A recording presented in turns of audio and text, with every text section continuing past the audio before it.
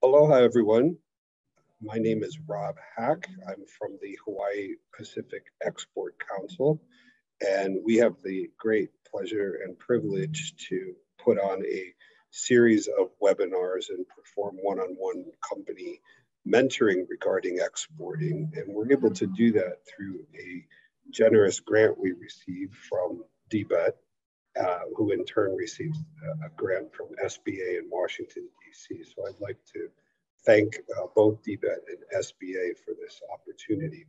Our talk today, as you know, is on logistics, and that essentially is shipping and moving product from Hawaii to foreign markets. And just to be pedantic and clear about it, when we're talking about exporting, we're talking about sending it to a foreign country, our products and services, not to a neighbor island, not to the mainland, uh, not even to Guam or the Northern Marianas, which are US territories, but we're talking about completely foreign countries like uh, most of our Hawaii companies are very interested in Japan. Uh, we, the United States has a free trade agreement with Mexico and Canada, and certainly Europe, South America, um, et cetera. But most of our companies in Hawaii tend to gravitate towards the Asian market, and um, we'll tend to discuss that today in this talk. Uh, but the lessons learned here um, today can be translated to other markets, whether it's Europe or Latin America or wherever you're particularly interested in. So um, I mentioned that we are the Hawaii Pacific Export Council, often called HPEC for short. We're a, a nonprofit uh, in Honolulu. We're one of 61 district export councils in the United States, and uh, a district export council is set up uh, by the Department of Commerce. And our board members are all nominated by uh, the Commerce Secretary. And uh, on our board, we have people from all kinds of backgrounds, but one common denominator is that everybody has a long, uh, extensive uh, career in, in, some topic in exporting. Our speaker today, who we'll get to in just a few minutes, is Brian Suzuki. He's previously on the Hawaii Pacific Export Council.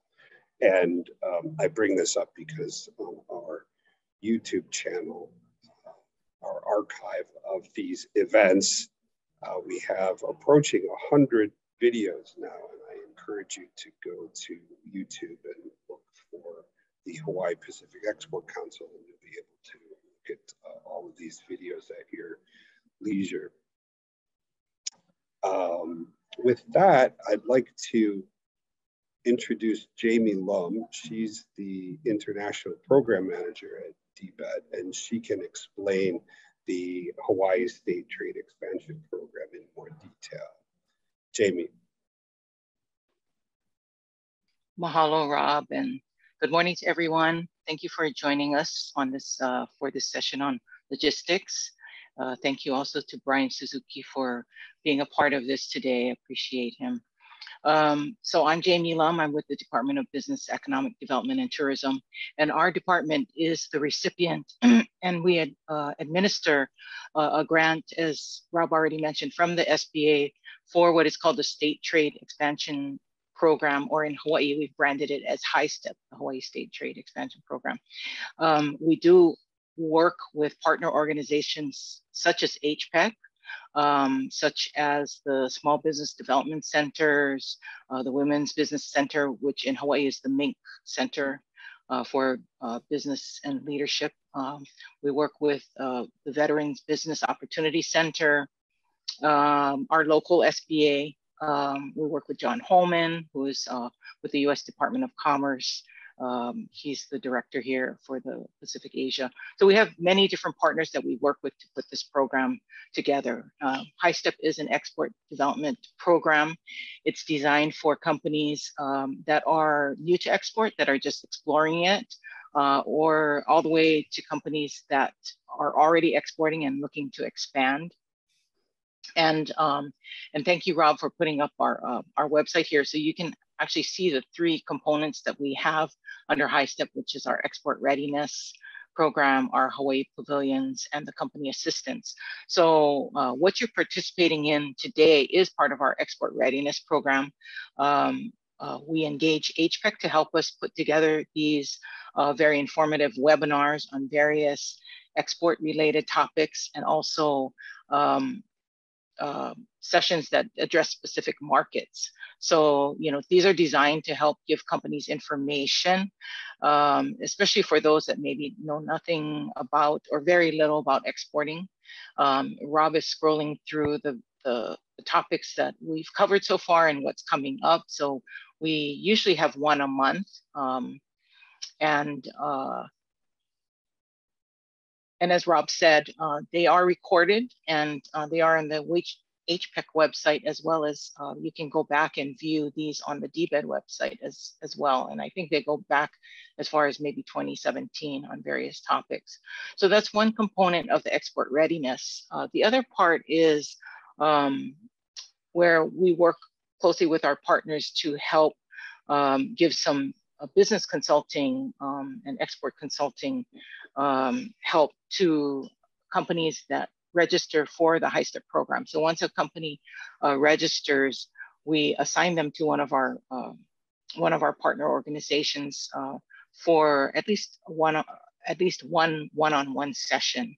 Um, and so um, uh, this will help companies in um, in putting together uh, an export strategy, or um, maybe they have one already and maybe need to fine tune it. Uh, if they have particular uh, uh issues that uh, their company is dealing with, uh, export related, um, they can try to um, also, people like Rob are very helpful um, in trying to pinpoint certain, uh, other resources or particular, uh, suggest some solutions. So uh, that's part of the export readiness. Um, so another component we have uh, are the Hawaii pavilions. Um, these are uh, trade shows that DBED has uh, selected for to, to organize, um, to, to put together an organized fashion where we we take a group of companies and we exhibit together under the Hawaii banner.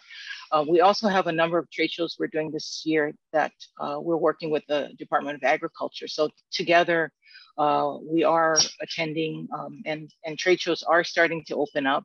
Um, actually, the trade shows in Japan the last two years, they've still been held, but um, companies, uh, it, it had to be limited to companies that already had some uh, agent or representative or importer in Japan. So um, we're, ho we're, hoping as things open up um, that the people here, the company uh, personnel here in Hawaii will be able to go, and we do anticipate that.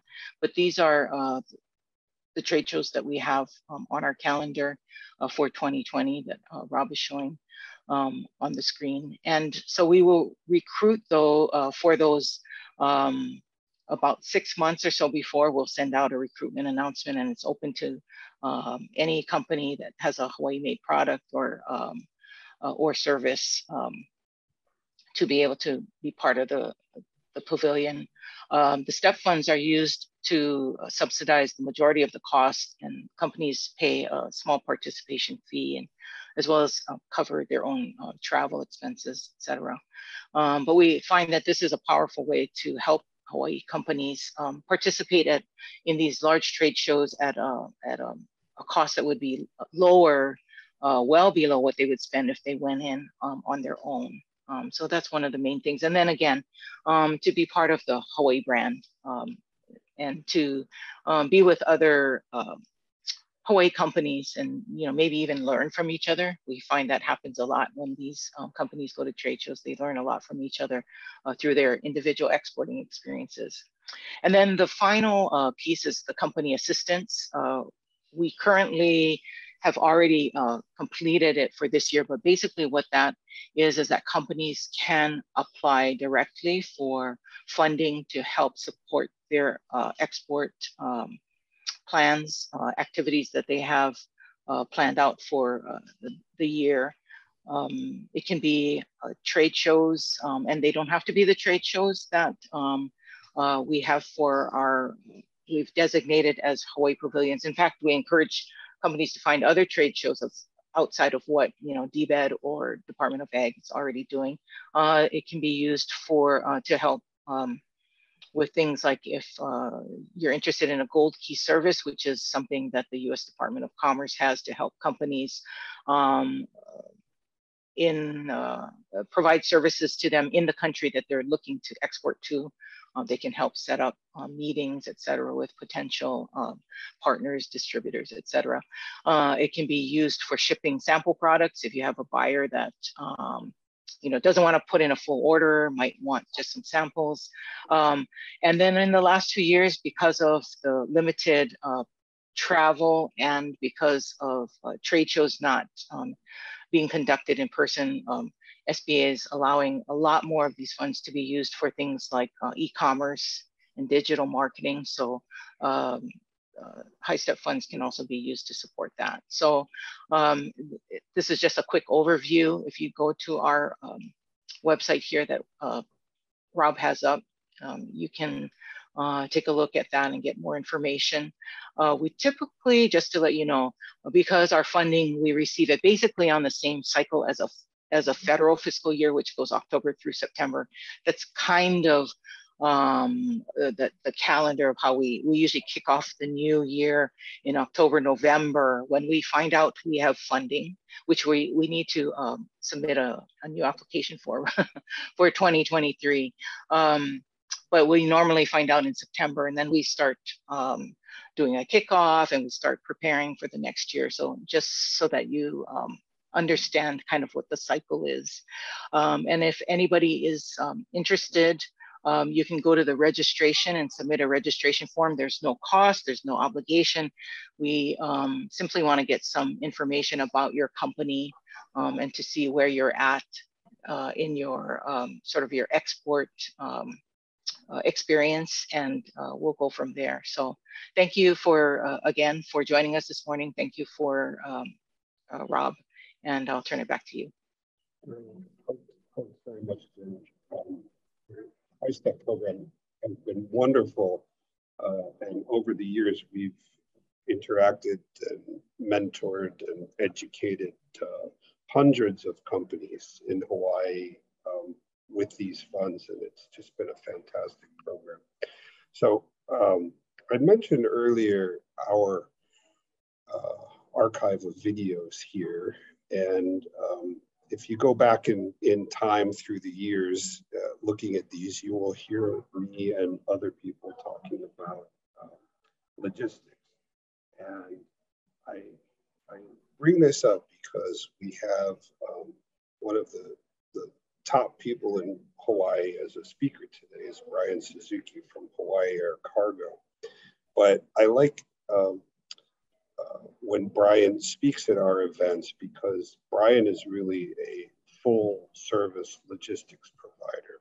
And if you were to go back and view some of my marketing uh, videos here where I'm talking about packaging and these types of things, I think you'll find how um, all of this relates to logistics. And our Hawaii companies tend to think of the logistics and the shipping issue too late in the process and they can wind up losing a lot of the margins on their international sales because they have not paid enough strict attention to the shipping.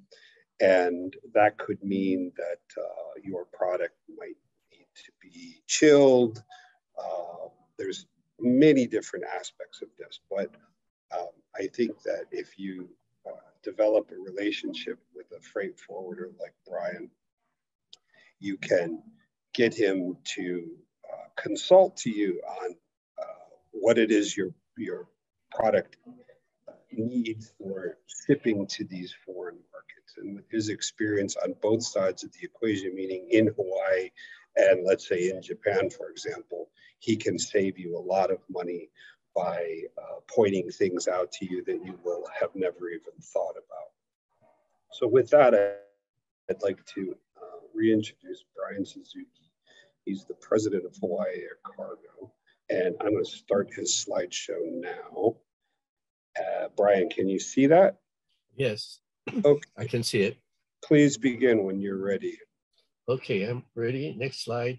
sorry about that. Uh, I'm not very good for technical things, so I have to have Rob, uh, I guess, turn the page. Oh, so, no, so if you no can problem. go ahead, next, I'll say next slide. Okay, these are some of the other things that we talk about, uh, and I've had before with teaching methods of shipping. Uh, some people want to take a tour of what we're talking about at the airport, at the harbors, and then we had breakout sessions in the past. Uh, next slide.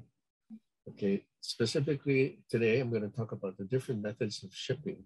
Uh, I we had a this, uh, you can continue next. Uh, it'll start bringing in some things, but we had a, a speaker uh, set up to speak about ocean freight, uh, but looks like she had an emergency surgery today, and because of that, she couldn't make it. Uh, but then she was eager to talk about using Matson. She's an I'm talking about Lake, and she is a, uh, I guess, uh, working with Matson, and she does the international side. So if you have any questions specifically about ocean freight, ask, uh, send me a message. You'll have my contact later, and then I can get uh, uh, Pam to get back to you regarding your ocean freight needs. Uh, next slide. We have ocean. and next slide. And air is the next one. Go ahead. Okay. We have all kinds of methods, but when I say all kinds, we are limited to air or ocean. Okay. I won't explain all these additional things, but we will cover these things and what, to, what things you should be asking of your freight forwarder or your shipping uh, specialist. Uh, next slide. Right.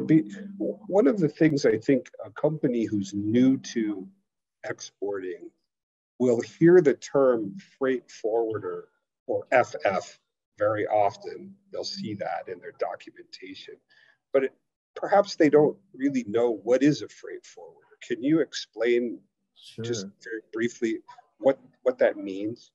Okay, a freight forwarder actually they do everything like if you're an ocean freight forwarder uh, or an air freight forwarder, for instance, my company, we do everything that an airline requires, but we don't have our own planes. We use all the scheduled flights. As, so, as well as a surface forwarder, ocean freight forwarder, They use the steamship companies that are available. Many of the airlines and uh, freight um, steamship companies, they don't want to do the detail.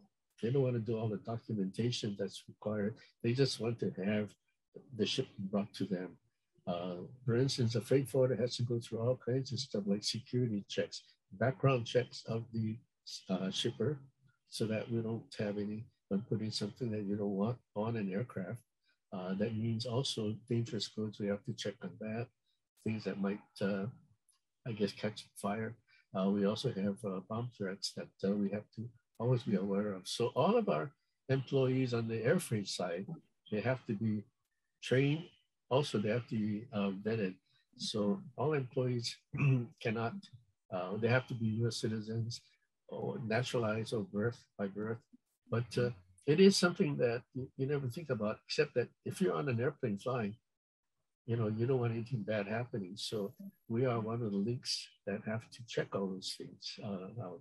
And we get tested. TSA tests us every so many months they try to get something a package into our system to get on the plane uh, and uh, we have to be able to watch for that so you can't just say i'm from xyz company like an ibm and i want to ship something we have to go back to uh, the home office and find out if you really are a uh, employee of that company so anyway that's a freight forwarder does a lot of things that uh, an airline will say we don't have the time to do it uh, therefore, go to a freight forwarder. And um, as a matter of fact, because of that, about 30 years ago, I formed the Air Freight Association of Hawaii, the Air Cargo Association of Hawaii. And we've been in existence since then. And we've done a lot of things to help the shipping public uh, because when you have it by ocean freight, you have to have out of Hawaii, whether going domestically or international, you have to have full container loads. And unfortunately, we don't have a surface forwarder that will take less than a container and build a container uh, because it, we don't have enough people shipping all the time. Therefore, uh, it's minimal unless you have a company that ships a full 40 foot container in the refrigerator. And I'll, I'll tell you some stories later. But let's go on as, as far as answering Rob's question on who's a, what's a freight forwarder. You got that in a nutshell. Yes. Okay, again, methods of shipping. This is the air side now. I'm going. We ship uh, passenger flights. Uh, we have all air, uh, all cargo aircraft. Uh, you can use a freight forwarder, integrator of people like FedEx, UPS. Uh, the post office is another one. But next slide, you can see the breakdown. Now, these are air containers. You have all kinds of sizes. And uh, the M1 that's showing there or the P1P, uh, it's quite large. And uh, you, you see how these go on. Next slide, please. Most of the freight goes on the bellies of a passenger flight. Uh, and norm, uh, what we see a wide body, uh, something that uh, is like a 747, uh, the Airbus, and all these other big 787s, things like that. they use a belly where they put their baggage as well as cargo. And we use that for a lot of flights. Unfortunately, during this COVID time, we just don't have that many wide body flights. For instance, to Japan, prior to back in 2019, before COVID, we've had we had 21 daily flights to Japan, different um, airports, of course, 21 daily. Today we have zero daily, and then um, but we have some carriers that are flying, but most of those carriers from Japan or Japan to Hawaii or from, um, well, not necessarily Korean, Korean Airlines hasn't started, but those that are coming from Asia are carrying mainly cargo because of the backlog on the West Coast ports. Uh, a lot more air cargo is coming in. So not much passenger, if at all, but mostly uh, cargo. They're full of cargo. But going back now, they're going back empty. We don't have anything to send back. So next slide.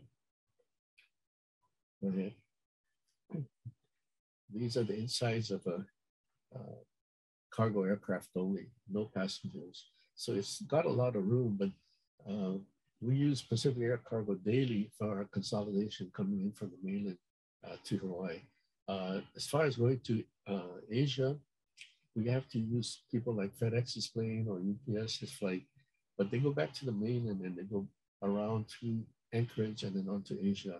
And so it might not be right away. It might take uh, three days to get to Asia by air. It's a lot faster than going by boat. And um, okay, next slide. Uh, Rob, next slide, please. Did I lose you? I'm not catching. Oh, we lost that slide.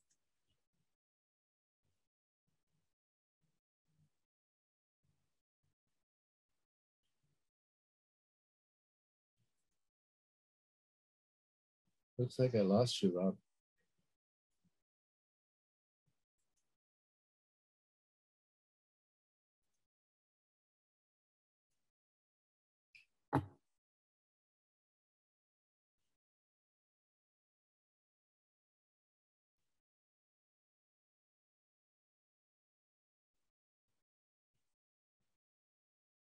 Hi, Rob. I lost you and I'm missing the slideshow.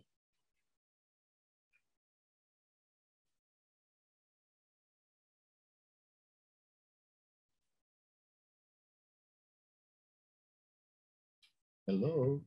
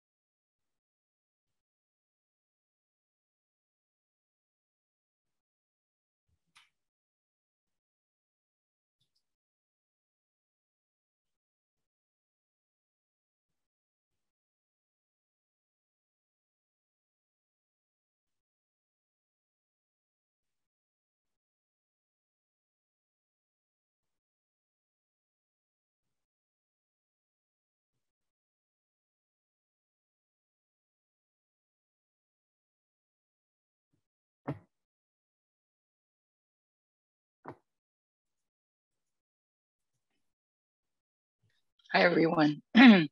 um, I'm sure Rob must be experiencing some connection problems. So if we can just give him a minute or so to get that resolved. So sorry, oh, well, there he is. Sorry, Brian. Oh, there we no, go. I, I can yeah. hear you. So yeah, we'll just let him get back up. All right. Interesting how I can talk to you, but I guess it must be on Rob's end because I'm, I'm missing my slideshow and as well as the vocal.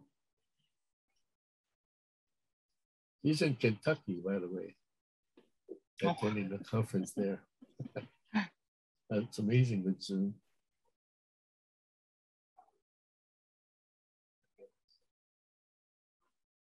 Oh, yeah, there we go. Thanks, Rob.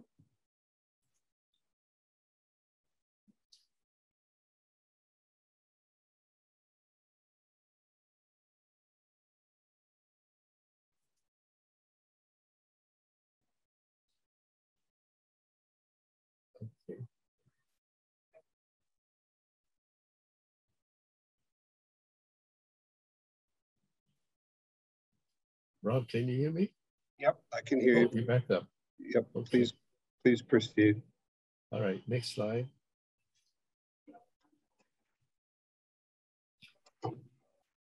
Okay, the integrated carriers are your FedEx and UPS. Next slide.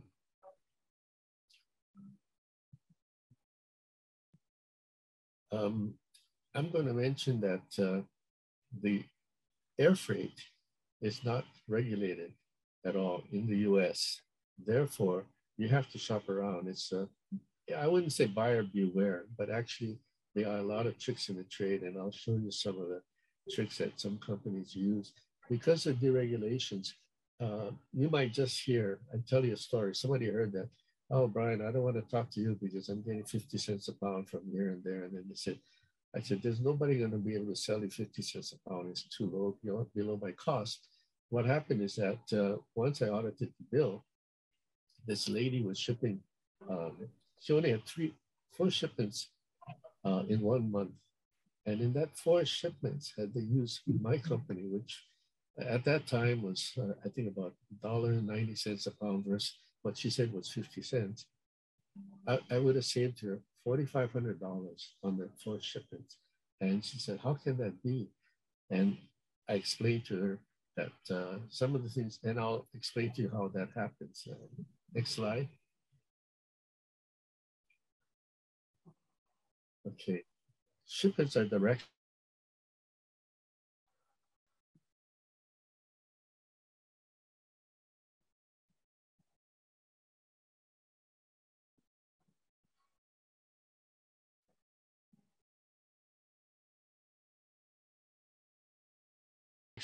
coming in from jet carriers for different rates. And therefore, I'm it's directional.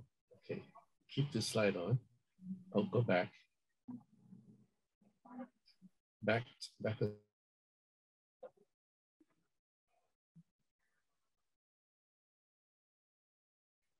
slide. You gotta, okay, I'm missing that slide. Okay. And these are just basically some things that you must know and don't forget, people charge, people meaning the air freight, uh, they charge by actual weight or dimensional weight, whichever is greater.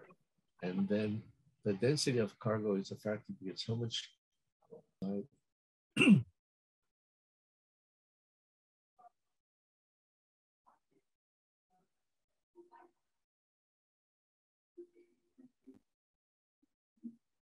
Okay, this is important for dimensional weight uh, different people use different uh, formulas.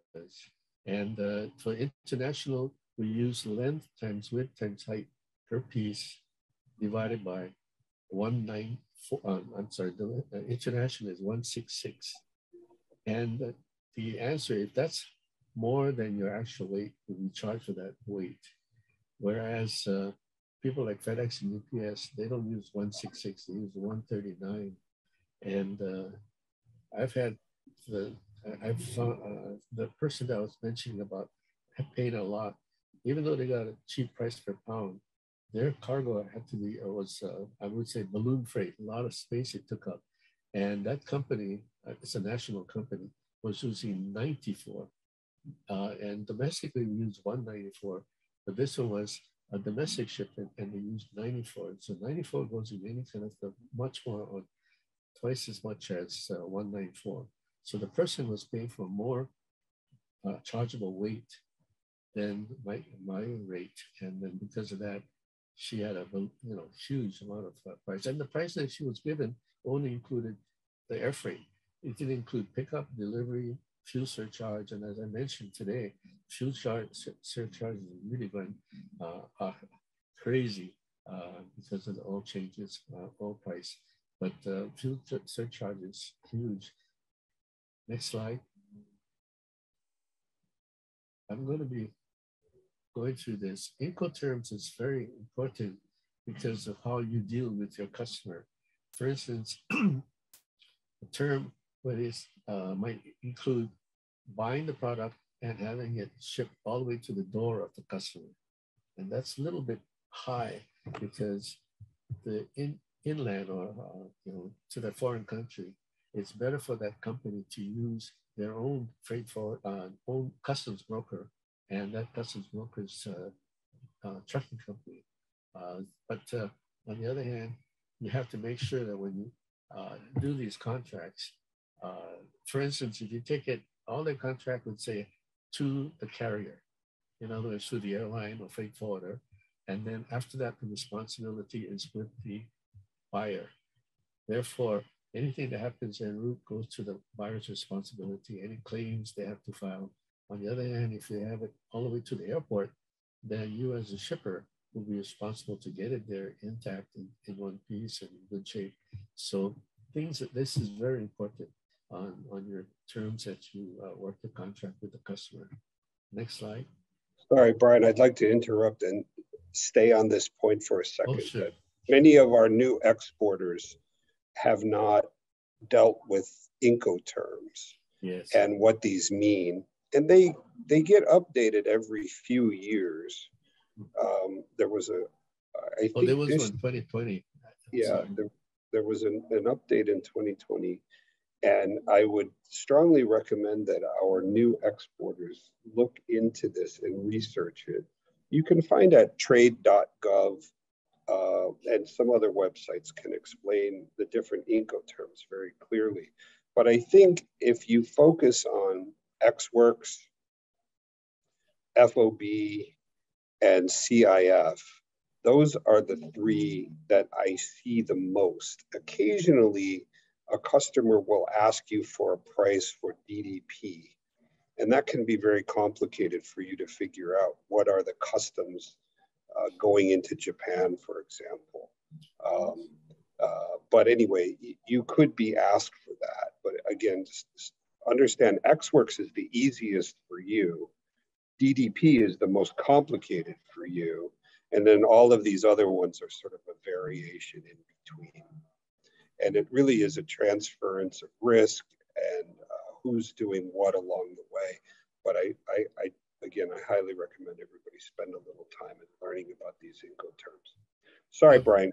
No, no problem. I've, I've never had DDP except for inbound shipments. I, I get a lot of um, requests to quote for customs clearance and delivery. And, uh, you know, so they give us all the particulars and we have to go back with our charge because they're going to charge the uh, shipper uh, where everything is paid for uh, by the shipper's end. So, okay, next slide okay, there are so many charges that uh, people will charge for. Um, shipper's export declaration, invoice, you have to have a packing list. Uh, this is to ease customs clearance. Pickup and delivery charges, look for that. There's some people that charge handling fees. Uh, customs clearance fees, that's uh, something else that would tack on, but that depends on the terms of your contract. Usually if somebody's going to go and uh, do their own clearance, your customer that is, that's fine. Agriculture inspection fees, we will do that. They may ask you that um, if you're shipping something that uh, might get rejected, you may have to put in a guarantee that if you do, you'll resend another shipment, things like that. We were doing a lot of uh, potted plants and uh, cut flowers in the past. Uh, we haven't been doing that at all uh, lately. Um, airport fees, some airport charge for different things. To give an example, in, in I think it's Tokyo only, uh, not Osaka or uh, Nagoya, but if we ship the shipment of say 100 boxes, what we do is we put, we shrink wrap the box on a pallet and then we say it's one piece at said to contain 100 boxes. And we'll put that on the airway bill because the airport fees include per piece.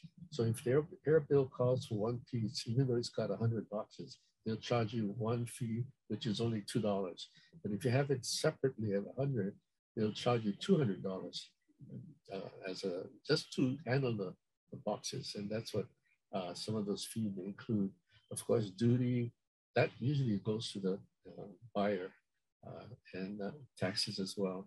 And uh, don't forget pounds versus kilo are very important. So be aware that when you talk to somebody, they, they're charging you per pound as, as opposed to per kilo. You might think it's per kilo, but then it might not be. So uh, make sure you're, you're aware of that. Next. Okay, I'm going to tell you uh, a little bit. Uh, this thing was a, a biggie uh, shipping to Asia and to, um, we're having some issues right now because of the collection. And uh, we're shipping them to uh, all around the United States, to um, uh, pet shops in, in Asia, as well as to Europe, all these uh, live tropical fish. Next slide. This story, a buyer from Japan came in and wanted to buy uh, small, you know, in Japan, for instance, they have uh, a little altar that they put flowers in and you know, they keep up if it gets dried or dies off, they put new ones. So the buyer wanted to have three anthuriums, small, medium size, and then maybe one or two pieces of uh, leaf for the anthuriums. So I took them over to the Big Island, which is at uh, Greenpoint Nursery, and they liked the flowers, they liked it, and the price came out reasonable. And with the shipping, it was reasonable. Then finally, they, they went back, talked to the people, they come back, and they want 10,000 bouquets per week.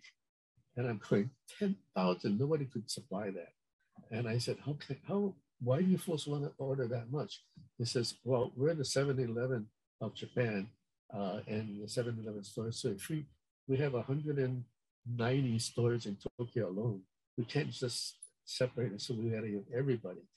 Well, that killed the whole deal since nobody could uh, get that many bouquets uh, ready at one time. Uh, next slide. So there are interesting stories. Now we talked. Jamie talked about going to these uh, different shows. Now this is uh, the China Hotel and Food Expo in Beijing, China. As a matter of fact, for those of you, this is really important if you're interested uh, in doing anything. And the slide uh, above is the French Gourmet. They're shipping, well, we were shipping for them to Asia in boxes with dry ice to bakeries and hotels. And um, the beauty of this whole thing is that they prepare the dough, they flash freeze it. The buyer, when he gets there, all they have to do is uh, they can put it in the freezer until they need whatever boxes they want and then take it out. And these are pastries like bear claws and, you know, all the kind of really nice stuff. And it tastes really good. They thaw it, then they uh, bake it, and they go ahead and, you know, uh, sell it as though they made it, but there's no waste.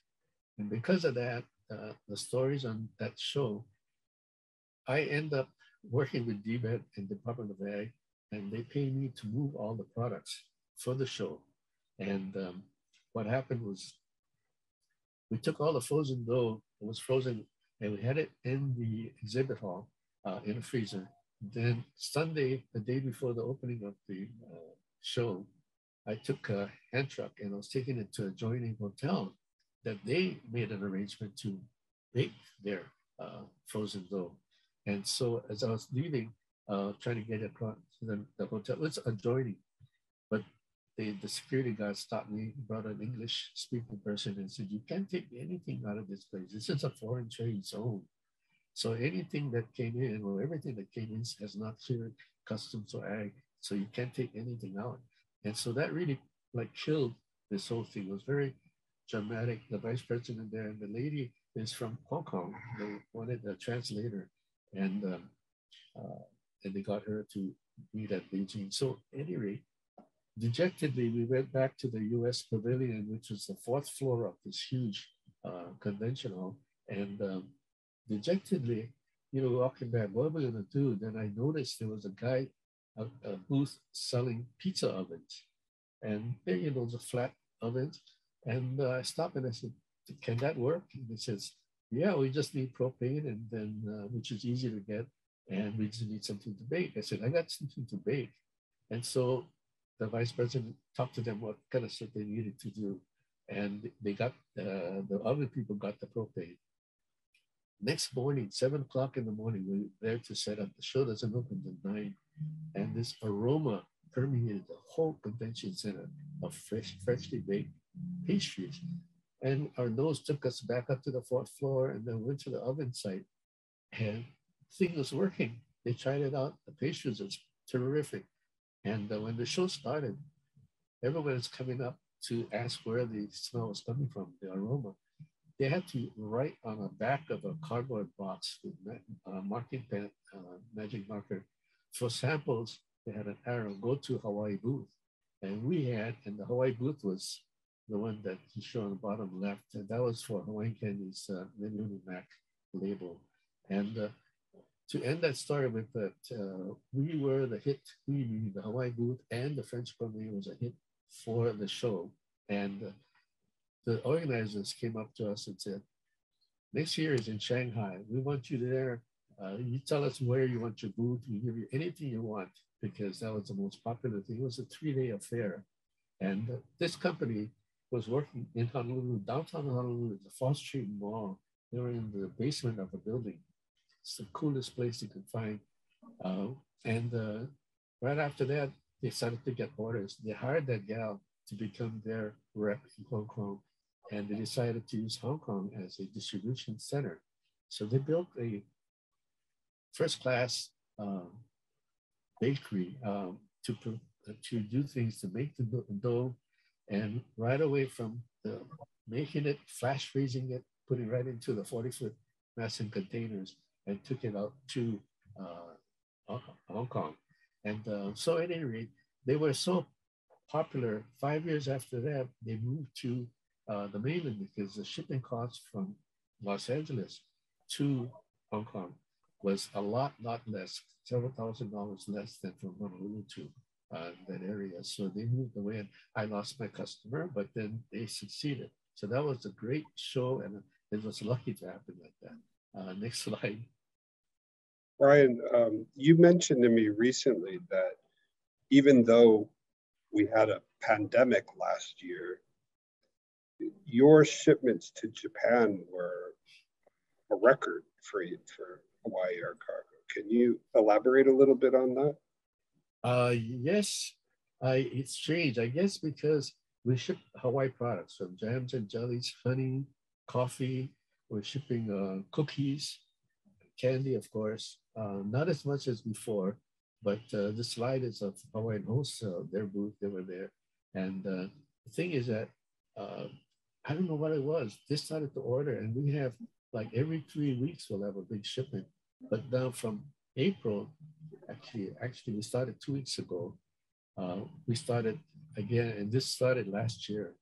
The biggest single product that we're shipping is Hawaiian sandals, slippers and sandals. And uh, as fast as they can manufacture it, we're shipping. And we're shipping thousands of uh, every week, thousands of slippers and sandals each week. And they come up to huge pallets, like six pallets uh, of uh, these things. And that whoever they got, I don't know who the customer in Japan was, but uh, or is.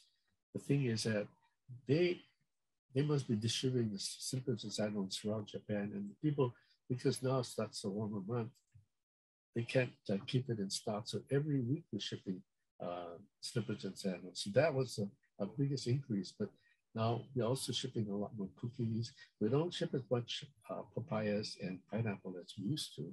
Uh, the thing is, by the way, pineapple, for instance, they get their pineapples from uh, Philippines, and there's a huge difference. We're shipping Maui pine, and the Maui pine was really sweet. So it was important for them to do a taste. In other words, you have to try to tell the buyer to make sure people taste it. Because once you taste it, it's not like a regular pineapple. And, and sure enough, we did a lot of that at some of the shows in Japan, have them taste it. My hotel room was always a place where we had to cut up all the pineapples and refrigerate them. Uh, actually, I took it to the venue's uh, refrigeration, but uh, we're cutting up. Uh, had to go to the, their 7-Eleven or their 99 cents, so a 100 yen store, they call that, and buy knives and cutting boards. But um, things like that, we make do. That's why I say that if you have any product, you should go in advance to see one of those shows to see if you really can fit in. Uh, next slide. Another thing is to have it in the language of where you're going to. If it's Japan, have it in Japanese. Today, the DBED hires someone to provide uh, a, a translator at the booth. So they have all that kind of stuff there. This is a story about uh, uh, that. That last one was a slide about uh, uh, plants.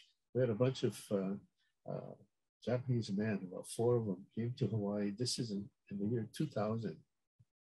And uh, you can put the next slide on.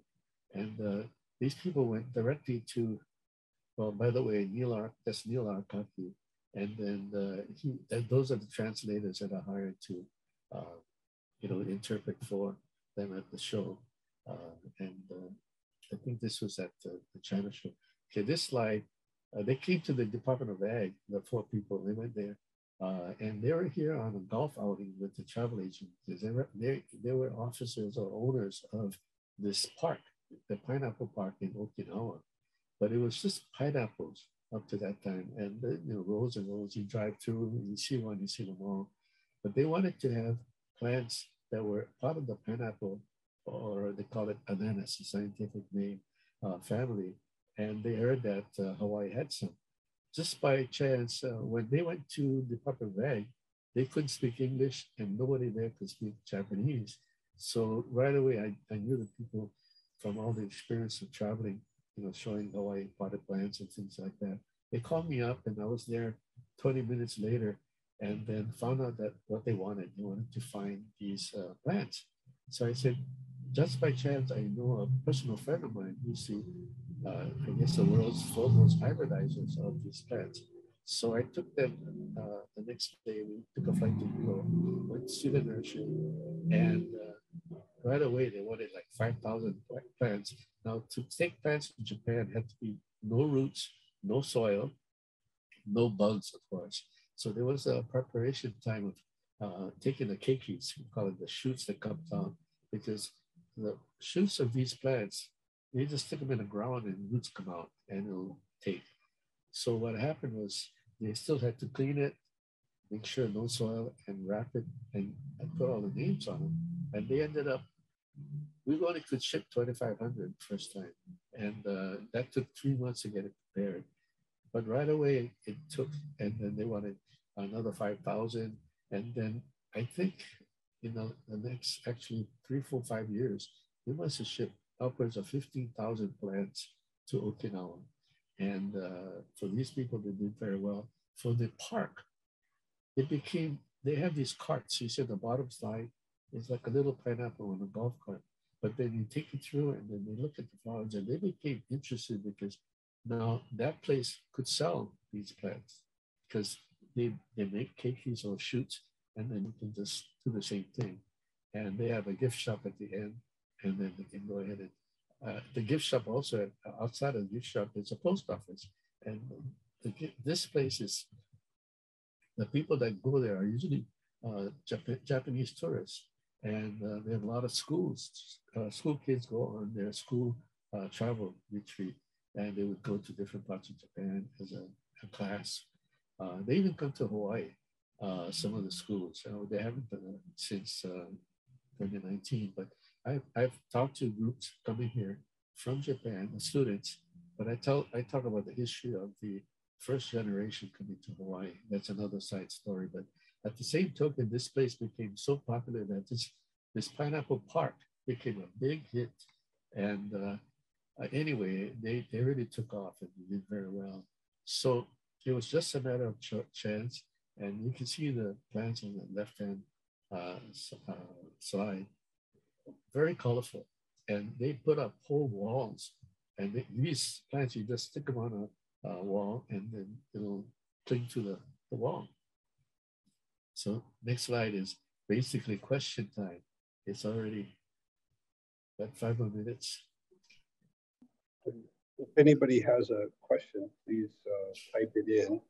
Otherwise, uh, you can slide, put the next slide on. Yeah, this is my yeah. contact on here. If you can, if you need to call me, my cell phone is best. I, I'm a more on the senior citizen side, so luckily I have very good staff people and can ask the staff people on some of these things, uh, questions you may have. But uh, if you need to reach me, my cell phone is there, and that's the fastest way. If you need, don't leave a message at my office because I forget to pick up the messages. Uh, so if anything, you can ask somebody who's answering the phone to ask me to call back, and then they'll call me on my cell phone.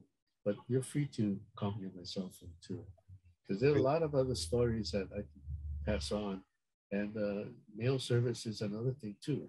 Yeah, I, I wanted to ask. There's a couple questions. I, I, yes, they're difficult to to answer, but at least you can give us some idea.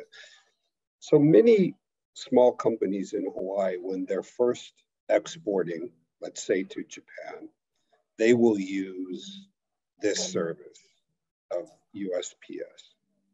It works um, uh, for a certain amount of product, right? This yes. large box is as big as they can do for $110. You can fit in some amount of product up to 20 pounds. And I've seen a lot of people using these uh, medium boxes too. Right. Now, at what point does a company decide, uh, okay, we can't continue to do this anymore? Our, our orders are too big or it's just not cost effective. We need a freight forwarder working with us. It's good to uh, touch base with myself. That question is because, let's say, for instance, depending on how much product you can get in these flat rate boxes, okay, this is a very, very economical way this. Don't forget, it, includes pickup. The post office can pass, uh, deliver a box for you, or you can go to the post office, any post office, and, and pick up a free box. And then you can even go to the uh, USPS.com site and, and, put the labels on. Uh, of course, because of international, you have to put the, what's in it. Uh, you have to have a, like a packing list, and uh, certain things need more than just uh, that. You need to have a, a certificate showing what's uh, ingredients, like this food stuff, and it's going to go commercially. You can't just send cookies; it'll be stopped and commercial like that. So at a certain point, when you have, I would say, if you need to ship 200 pounds, or let's say you have this four boxes of that size of the uh, a large flat rate box, then you might consider doing that. The, uh, the difference is where is it going to be delivered? Uh, if your customer is willing to clear customs, uh, things like that. Uh, you know, that that is a big part. I shipped uh, ship shipments to Japan where the delivery costs, just pickup and delivery, I mean, the customs clearance and delivery was more than double the air freight cost. Like I mentioned, the air freight is uh, inexpensive, but the inland is all regulated, and especially Japan. I took a bunch of candy shippers to Shanghai, and then I set up a meeting with Japan's customs uh, confectionery division to see how we could. This is before we started to ship to uh, China uh, in the chocolate candies. So when we went there after, we, I hired an interpreter and spoke to two people from uh, uh, China Customs.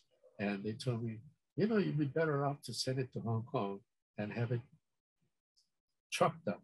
I said, no, we don't want to truck. This is perishable chocolate candy. They said, that's the easiest. I said, when, when you say it's easiest, it's because they don't check it as much if it's coming from Hong Kong. But it hasn't entered Hong Kong. I said, so I told the interpreter, ask him, do you mean for us to smuggle it? And she said, the, the guy said, yeah, so like smart. I said, we don't want to do anything illegal. And uh, he said, well, you asked for the cheapest way. But then, so we started to ship chocolate candy. And unfortunately, unfortunately this horror story started. The first shipper shipped two container, air containers of about 90, 90 boxes in each container, one going to Shanghai, one going to Beijing. Now the orders differ as to what type of chocolate. We should have done it. I mean, now in hindsight, we should have said it on different days because when he went on the airlines, he went to Tokyo to transfer one to Shanghai, one to Beijing. They put the wrong container on the different flights. And so it was held, he couldn't clear customs. But Shanghai being almost like an international destination, they ended up sending it to Hong Kong. I mean, the Hong Kong uh, shipment went to Beijing overnight, really fast. And then, uh, of course, the airlines paid for all of this. The one in Beijing, nobody could sign off. Took one month, but we had meanwhile replaced the shipment and sent that uh, order for Shanghai directly. After one month, they finally got to Shanghai uh, about oh, 10 cases are missing uh, out of that. And I'm not saying that they're not very good. It's just, I guess, during the course of leaving it there, of course, the chocolate was really bad because they didn't keep it under, uh, you know, good temperature control. Which is another thing. Some airports, like the Incheon Airport, it takes a drive from the plane side to cargo. It's about 15 minute drive. It's a long range. But then it's not only that the plane lands, they unload all the cargo, they take the bags off, and the baggage goes to uh, the arrival section of customs. The, the cargo sits there, plane side, and then they wait until they start loading the cargo for the flight after that. So it may take a good 30, 45 minutes before it's even taken to the uh, uh, cargo warehouse. And the cargo warehouse has three, or I'm sorry, three, five climatic zones. So you get it put down it's important to put what temperature you want to be kept at. And we had chocolate candies one. And what happened was it was unacceptable. But this is when they first opened uh, Incheon. So we work with customs there, uh, customs, uh, the cargo company, they bring all the cargo. And they said, you have to alert us by sending a message telling us one that you have perishable. They'll send one tug to pick up just that container. So it's not going to be sitting out for more than 15, 20 minutes and then put down the temperature that you want to keep at. So these are all things that you have to learn. And meanwhile, some carriers here have a problem because their contract with the ramp people, they have to pick up cargo two hours prior to the departure. Some planes are not even here. The plane going to Japan is coming from LA, say, and it's just for uh, once it comes here, maybe hour and a half, two hours and they take them out too early. So I said, that's not acceptable. So we, we make sure that uh, it's not taken out right away. And then it's only taken out when the plane is ready to be loaded. And that's why we eliminate some carriers which they don't follow that rule. And we've had some claims. The airlines don't pay claims, uh, just to let you know. But the contract is between the shipper and, and me. And uh, I have to pay the claim because we didn't do a good job of making sure so actually, we had to sit on those candy shipments to make sure that uh, it doesn't go out. And even the cut flowers or the potted plants that we're shipping, all those things cannot be left sitting out in hot, Honolulu sun. So it's important. So going back to this box, it's very good. Uh, domestically, I had a, one of the viewers uh, of our program. They had a they shipped uh, pet food, uh, pet what to call it, uh, pet cookies, doggy cookies, I'm sorry, like doggy cookies. And uh, this company was in Kauai. So she asked me to audit their shipping. They're using the flat rate box. So first off, I, I asked, is that sufficient to get to your customers? And say, I have 21 pet shops throughout the mainland and uh, I don't have a big production. So I can only make so much and these flat rate box. So I compared them, uh, her stuff at the rate versus FedEx, UPS, small package service. And I said, for each box, you're saving $10 by going to the post office. And as a matter of fact, FedEx, UPS also provide boxes, but the rate's a little higher, almost $10 for uh, her. So she felt good that, okay, she's doing the right thing. Until such time that her production is increased or orders get bigger to each destination, then she's got to look at, that, other needs. We're running over time, but. okay, I think um, that's it. I, would like to just uh, say uh, thank you again to Brian and our uh, other speaker who was going to join us from Matson to talk about uh, ocean shipping. Um, however, she had an emergency medical issue and we'll get her back at another time. Um, if anyone has a question for Brian, uh, here's his contact information. I will be sending out this uh, presentation to all of the uh, attendees uh, as well as there was, there's a question that was asked uh, the, the, oh, do we know when the lane to Japan may is open? opening? This morning's paper will show you that uh, uh, they're expecting a big uh, surge of tourism coming in at the end of April, April 29th, the start of Golden Week, and it's going to be a biggie. So, you know, like I say, uh, we were getting getting a lot more flights coming in. So that might be the start. But I think uh, Jamie had mentioned to me off, off camera was that uh, they expect by Ju uh, July, June and July, uh, maybe July, a huge, you know, influx of Japanese travelers. And the forecast by the uh, Hawaii tourism saying that next year is going to be a banner year for uh, tourism in Hawaii. So with that, the rates can either come down or, you know, things like that would happen. The more flights you have, the more competitive it gets, the more passengers on the top side pays for the flight coming in. So maybe the, even the fuel might come down. Who knows? Great. Great. But that's it. Yeah. Okay, with that, then I'd like to wrap this up and uh, I'll uh, send out this presentation and a link to the edited video within uh, the next week. Um, so with that, let's see, sorry, one more question. Thanks, Alvin.